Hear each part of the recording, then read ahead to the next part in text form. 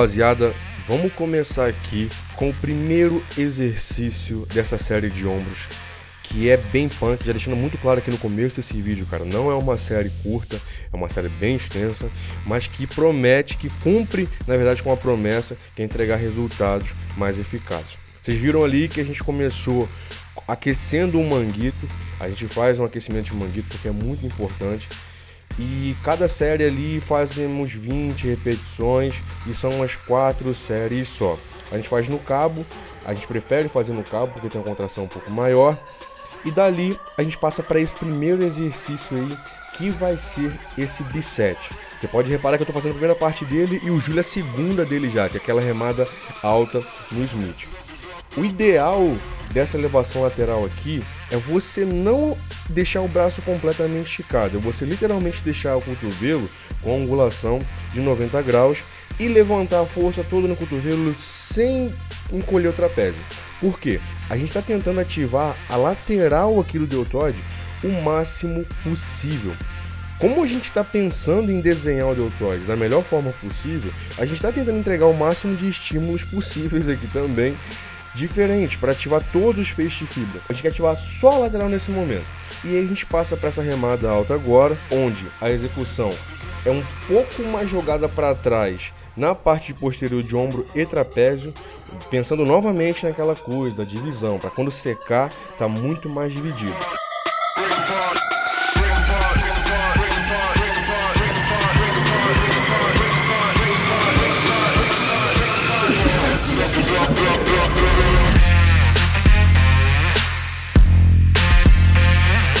Quantas séries nós fizemos aqui? Todo exercício, cara, que nós vamos fazer, mesmo os bisets, é muito difícil nós executarmos menos de quatro séries. Então, no caso aqui, foram quatro séries sim, de 12 repetições mais ou menos, é o que estava dando. É geralmente quando você começa a falhar. A gente tenta fazer 12, se der um pouquinho mais, faz um pouquinho mais, ajusta a carga no próximo, aumenta a intensidade, mas o ideal é fazer quatro séries ali de até 12 repetições. Se você conseguir passar um pouquinho, é porque você consegue aumentar a intensidade. Seja aumentando a carga, mudando a angulação, melhorando a contração, mas você consegue sim.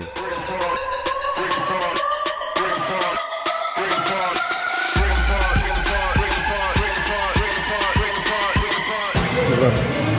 A cabeça. Aí força. Aí cabeça. Cabeça puxando para trás. Puxa a cabeça. Puxa com a cabeça. Agora sim, com a cabeça.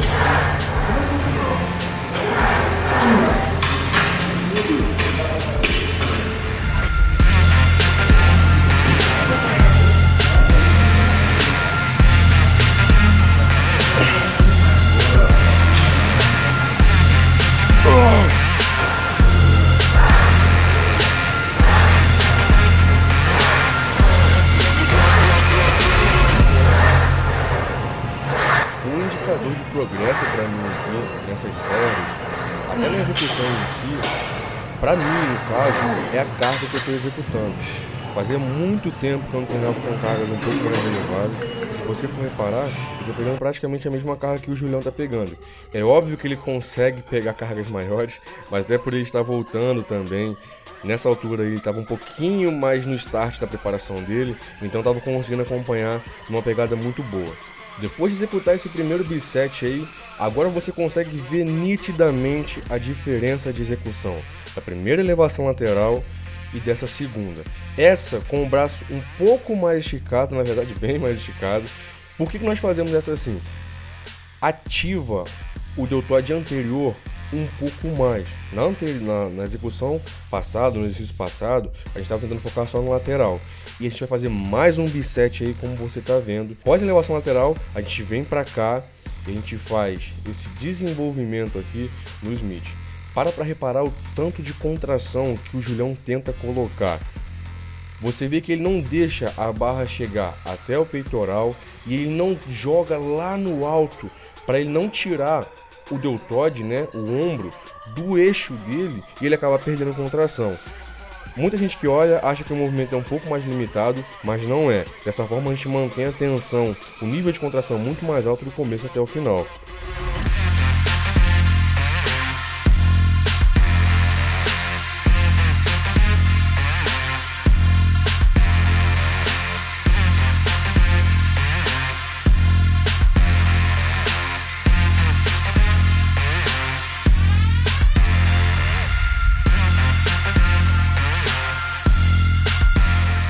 Uma das dicas que eu sempre dou aqui na execução da elevação lateral é você tentar manter a sua dorsal o mais travada possível para você evitar de ficar jogando no trapézio e você atingir assim a musculatura que você realmente quer. Como eu estava falando do indicador de progresso ali, pode reparar, é a mesma carga que o Julião está usando.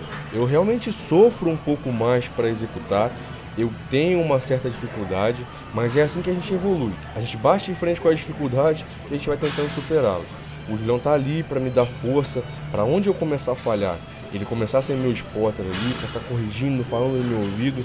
E óbvio que além da estrutura física, a motivação dele ali tá falando no meu ouvido é essencial.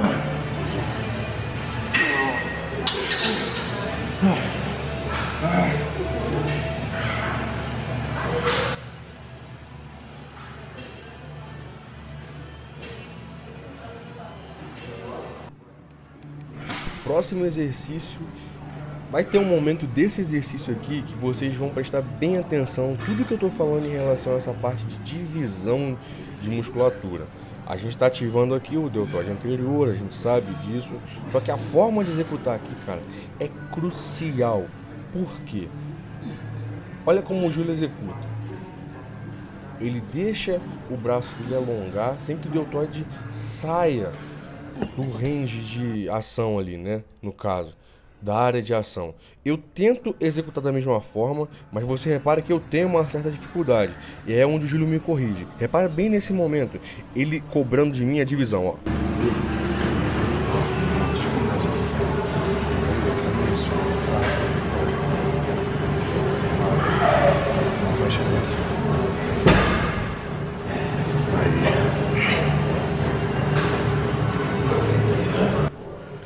Ele quer que do começo ao final, quando iniciar o movimento lá embaixo, ele consiga ver nitidamente a, a divisão de fibras ali do deltoide anterior e do bíceps, o que é um pouco difícil. É óbvio que a pessoa tem que estar com o BF um pouco mais baixa, tensão um pouco mais baixa, mas em relação à contração, ele quer ver aquela área ali contraída e dividida. Como eu falei, quer dizer que ele está ativando só aquela área ali? Não, mas estímulos diferentes, formas diferentes de se executar, são, é, na verdade, é o que vai lapidar o seu shape, é o que vai trazer para você resultados diferenciados.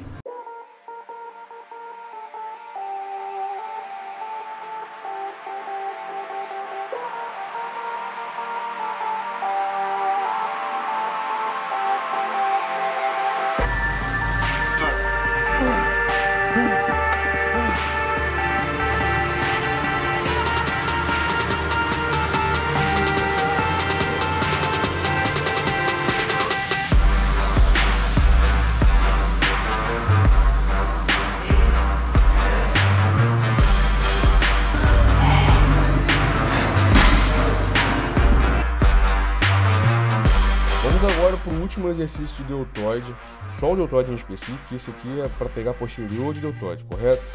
Nessa fase aqui, nessa, nesse momento, nessa altura do treino, nós vamos fazer um drop set de duas fases. Julião começou, fez ali 12 repetições e aí a gente, é onde acontece a primeira fase do drop, que é essa aí. Ele passa por um peso um pouco mais leve. Se posiciona, executa as 12 repetições ou o que der para fazer ali e novamente ele vai baixar a carga para um peso onde ele consiga executar novamente duas repetições. Se ele estiver fazendo menos que 6 com o drop, é porque está pesado. Se ele estiver fazendo muito mais que 12, estiver com gás suficiente para fazer com muito mais que 12, é porque está leve demais e a gente consegue melhorar essa carga aí, aumentando um pouco ela.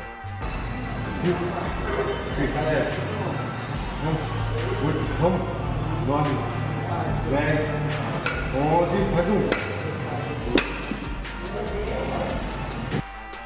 Vocês já me viram executando esse exercício posterior aqui com a cabeça encostada no banco. É uma forma de neutralizar que você roube. Mas nesse drop aqui você pode reparar mesmo que um pouco do momento é até necessário para finalizar. Mas é óbvio, tudo aqui é feito com cautela, com contração, com consciência e a gente não faz o exercício de forma largada, de forma jogada. Quando eu vejo que eu não consigo mais executar, que eu estou ficando muito agarrado, eu paro e termino a execução por ali mesmo.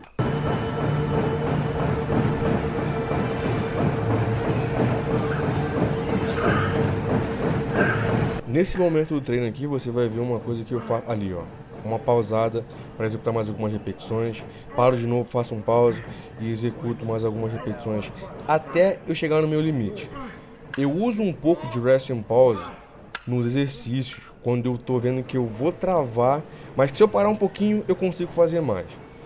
Nas próximas séries ali você vai reparar isso também, que chega momentos que eu não estou conseguindo executar, eu paro por um segundo e levo de novo. Por quê? Esse start no zero e o tranco aumenta um pouco a contração e faz você sugar o que você normalmente não sugaria se você parasse por ali. Terminamos esse exercício aqui também, fazendo quatro séries, e aí a gente vai passar para o próximo, que vai ser mais um exercício dessa parte superior ali, né, que envolve deltoide, trapézio, só que esse é em específico para trapézio. Já já eu mostro para vocês.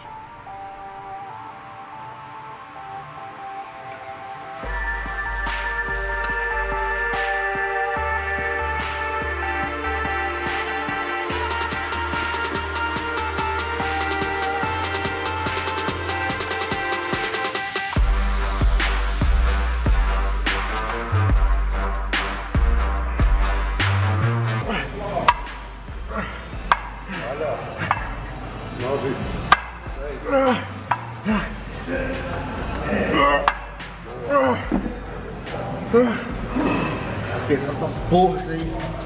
Puta que pariu.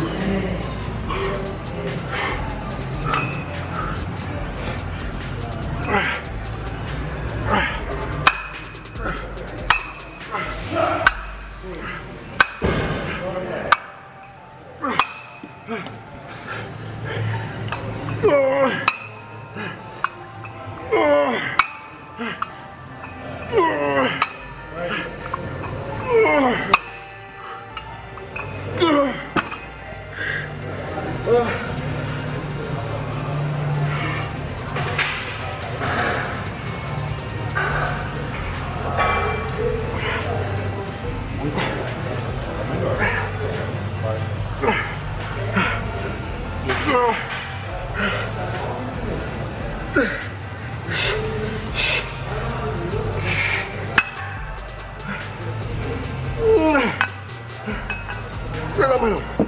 Não vai mais não, vai mais não. Caralho, puta que pariu.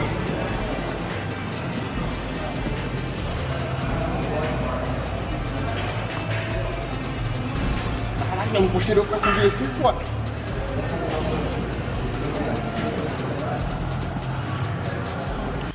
Vamos agora aqui para o último exercício que não tem mistério nenhum. A gente está fazendo aqui encolhimento com a barra pela frente do corpo, cara. O movimento é autoexplicativo, então não tem muita dica para te dar aqui não. Passa a barra para frente, sobe contraindo o trapézio máximo que der, segura um segundo no alto e desce controlando, fazendo o controle do movimento do começo até o final. Existem algumas variações de encolhimento, só que nesse aqui com a barra para frente, você só sobe mesmo, encolhe, segura a contração e desce controlado. Você pode olhar por trás das costas aí que você não joga lá atrás não, simplesmente sobe com ele ali na frente. E é isso pro vídeo de hoje, rapaziada. Eu espero mesmo que vocês tenham gostado. Se você assistiu até aqui, e eu espero que você tenha assistido, esmaga o gostei aí embaixo e, mais importante, comenta a sua opinião. Me diz o que você achou desse vídeo, se tem algo para melhorar, que eu vou considerar e ver o que pode ser melhorado para melhorar o conteúdo para vocês, beleza? Se inscreve no canal se não é inscrito. Vejo vocês em breve. Valeu, falou e fui!